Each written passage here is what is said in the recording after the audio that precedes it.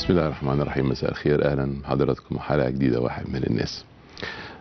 النهارده ضيفتي فنانة موهوبة مع مرتبة الشرف الأولى. قدرت تعمل اسمها على نار هادية. حققت النجومية عبر أدوار وشخصيات ومشاعر وأحاسيس. واختزنت في موهبتها الحضور. عفوية. فبقت نجمة استثنائية. تألقها ليس له عنوان فنجدها على الشاشة الصغيرة والكبيرة وخشبة المسرح.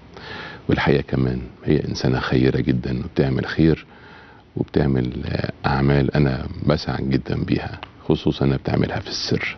لكن النهاردة إحنا هنحاول بقى نتكلم معاها في حياتها الإنسانية والفنية والاجتماعية. فرحب بالفنانة الكبيرة وفاء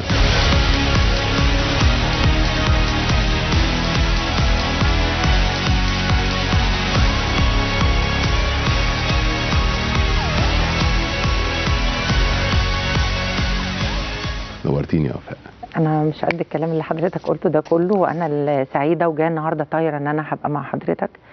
وبصراحة أنت يعني كل يوم بتنيمني معيطة. أنا بقعد أدور على كل الحلقات وبقعد أجيبها وقد إيه فعلا محتواك إحنا محتاجينه. لأنه بيسعى لترسيخ قيم. آه بيعلم الناس إن المشاعر ما تبقاش جامدة. بيحرك فينا الإنسانيات اللي إحنا بننساها قاصدين عامدين متعمدين أحيانا.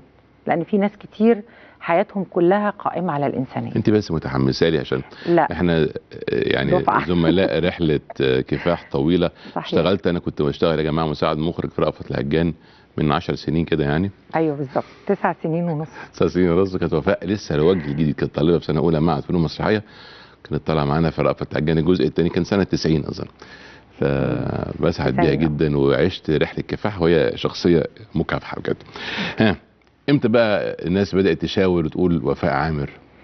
بعد إعلان آه لتحديد النسل آه وكنت مع ماما كريمة مختار وده كان إعلان مهم جدا جدا وكانوا محتاجين ممثلة مش معروفة وتدخل تتكلم عن الزحمة والأطفال الكتير اللي بياخدوا حقوق الناس من بعض يعني اتنين غير تلاتة غير خمسة.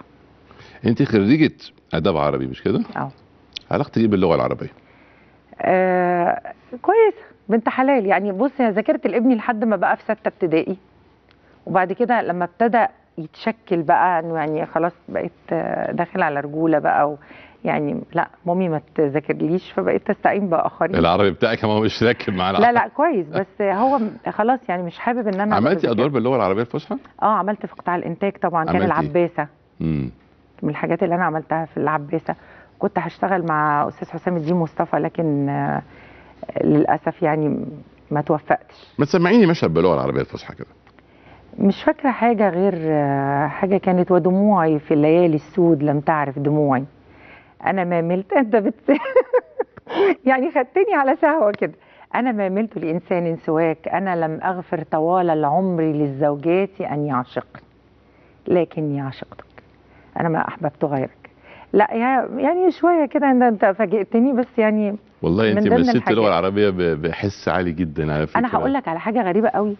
اللغة العربية دي بتدور على الم... أحلى المشاعر في الفنان وبتطلعها. يعني بت دايما أبقى مثلا لو في دور بعمله مش بالعامية بس أنا دايما أحب أفهم. أنا مش بتاعت حفظ. اللغة العربية ما ينفعش. لازم أحفظ. فلما احفظ اطلع مشاعر أحلى. وبرضه لما انت مثلتي أنا على ما اذكر باللغة الصعيدي هل كانت سهلة ولا صعبة بالنسبة لك؟ لا كانت سهلة. بالنسبة لي أنا كانت سهلة لأن أنا جيراني كانوا صعايدة. الشارع اللي أنا كنت ساكنة فيه كان فيه صعايدة. فكنت بسمعهم دايما يتكلموا وإحنا كان ده مسار ما بيني وما بين أبنائهم يعني اللي هو إيه أجول أنا ولا تقول انتي فنبتدي نقلد طنط مثلا يعني مامة ناهد مثلا صاحبتي اصلها صعيدي. فكنا ساعات نقعد نقلدها شوية. فيعني كان سهل بالنسبة لي. يعني بتستلهمي الشخصيات اللي انت بتمثليها من ناس حواليك؟ آه. دايما؟ آه، أحيانا. يعني مش كل ما ممكن مثلا ما بقاش عشرت قتلة.